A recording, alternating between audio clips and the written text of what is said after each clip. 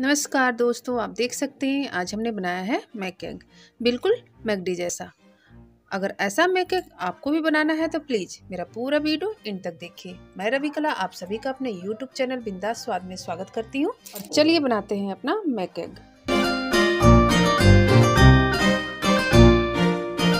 Mac egg बनाने के लिए हमने ले लिया है बन और अंडे साथ में मेरे सलाद के लिए प्याज चाहिए। हमने प्याज को कट करके पानी में पाँच मिनट के लिए भिगो के रख दिया था। तो हमने इसका पानी निकाल दिया है। अब इसे दस मिनट के लिए हम फ्रिज के अंदर रख देंगे।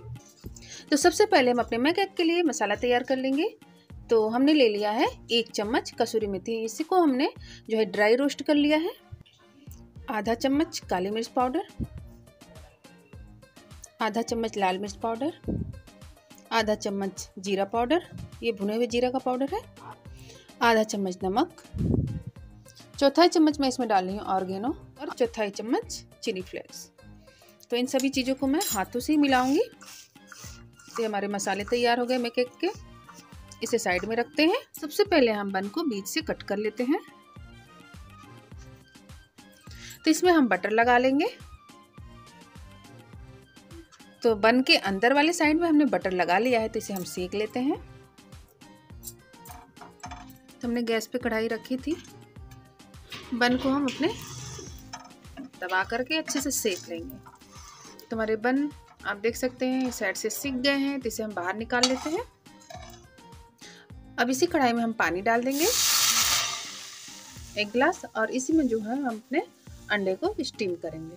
दोस्तों, मैं अपने अंडे को जो है कि मोल्ड के अंदर नहीं, बल्कि कटोरी के अंदर स्टीम करूँगी। तो सबसे पहले मैं सभी कटोरियों में आधा आधा चम्मच वेजिटेबल ऑयल डाल दूँगी। और इसे एक ब्रश की सहायता से स्प्रेड कर लेंगे अच्छे से। अब एक एक अंडे को तोड़ करके हम कटोरी के अंदर डाल देंगे।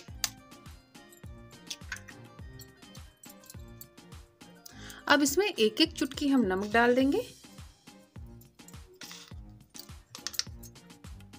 और एक फोक की सहायता से हम पीले वाले को थोड़ा सा फोड़ देंगे।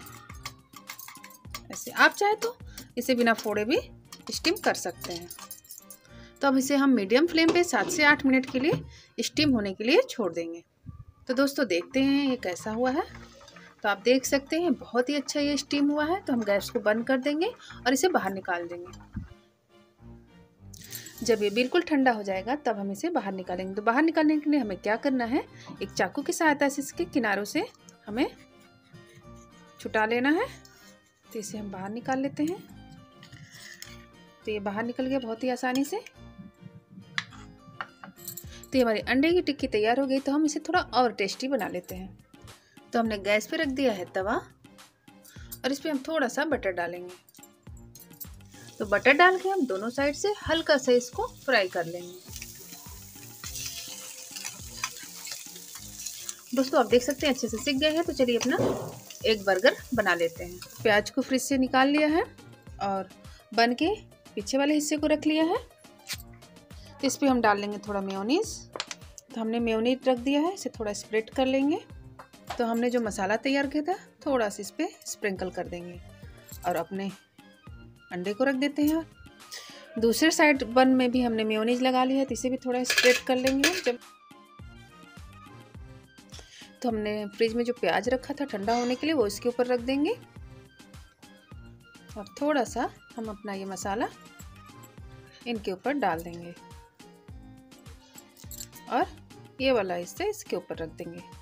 तो हमारा ये मे केक तैयार है खाने के लिए। तो चलिए इसकी प्लेटिंग कर लेते हैं। तो लीजिए दोस्तों, ये हमारा मे केक बिल्कुल तैयार है खाने के लिए। तो हमने इसकी कर ली है प्लेटिंग तो हम गर्मा गर्म इसे खाने जा रहे हैं। तो उम्मीद है ये वीडियो आपको पसंद आया होगा। अगर पसंद आया है तो प्लीज़ मेरे वीडियो को लाइक और शेयर करना ना भूलें दोस्तों।